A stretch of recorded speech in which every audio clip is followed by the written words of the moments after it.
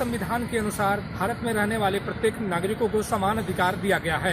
इस संविधान में ये बात स्पष्ट कहा गया है कि समान काम का समान वेतन होगा, लेकिन उसके बावजूद लखनऊ जनपद में स्थित आर के अंतर्गत काफ़ी भेदभाव दिखने को मिल रहा है। जंगल भी करते, क्यारी भी करते, गोड़ाई भी करते हैं और लैंड ब्रीडिंग करते हैं। कभी कभी कचरा उठावे पड़ जात कभी कभी कूड़ा उठावे पड़ जात कूड़ा तो रोजीना उठाते हैं। पौधा भी लगाते हैं। कितना पैसा मिलता है आपको? एक से चालीस। यहाँ पे आदमी भी काम करते हैं? हाँ आदमी काम कर तो उनको कितना पैसा मिलता है? दो सौ चालीस दो सौ तीस। मालीगिरी सफ़ाई फाई काम करते कितना घंटा काम करते हैं? आठ घंटे। क्या क्या काम करना होता आपको? कभी कभी सफ़ाई ना, नाले वाले की और कभी कभी हेज काटना पड़ जाता है। कभी कभी पेड़ पेड़ पे हम्म, च- चढ़ना पड़ जाता। कितना पैसा मिलता आपको?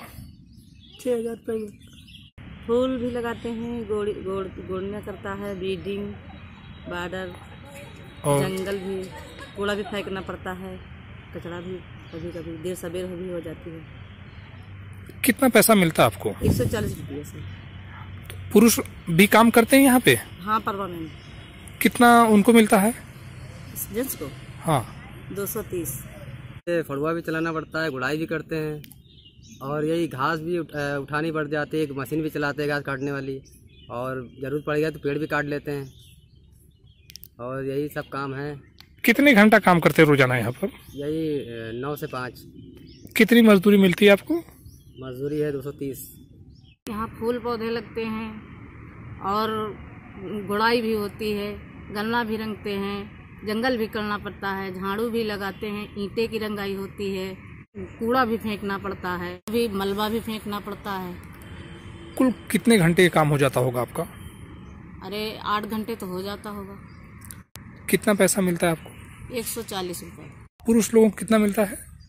एक सौ दो सौ तीस रुपये क्या क्या काम करना होता है आपको? अरे मशीन चलाना है पेड़ पौधे गुड़ाई करना है। सफ़ाई करना है उनकी देखरेख करना है ट्रीटमेंट करना है फाड़वा चलाना।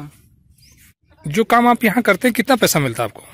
हम लोग को मिलता है छः दो सौ तीस।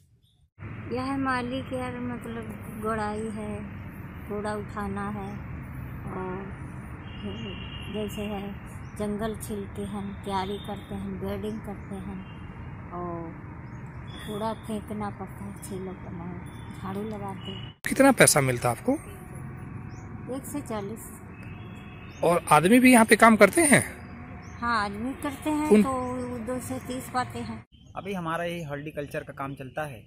माली का यही पेड़ छटाई का है गुड़ाई का है निकाई का है मतलब घास कटिंग है कुल यही कि- सब काम है। कुल कितने मजदूर अभी आपके अंडर में काम कर रहे हैं? हमारे अंडर में हैं तीस पैंतीस लोग। महिला पुरुष अगर हम कहें तो? बीस महिला हैं और टोटल अट्ठारह पुरुष। हैं। तो दोनों लोग काम कितने घंटे कर, कर, करते हैं? ये मतलब आठ घंटे की ड्यूटी रहती है जिसमें से छः ही सात घंटे काम। दोनों लोगों को क्या क्या काम करना होता है? बस यही माली का ही काम रहता है दोनों लोग मजदूरी क्या मिलता है देते हैं आप लोग? मजदूरी वही दो सौ तीस छः हज़ार रुपये मंथली है और चार छुट्टी मिलती है संडे। तो 230 किसको देते हैं हम लोग? जेंट्स को। महिलाओं को? एक सौ चालीस।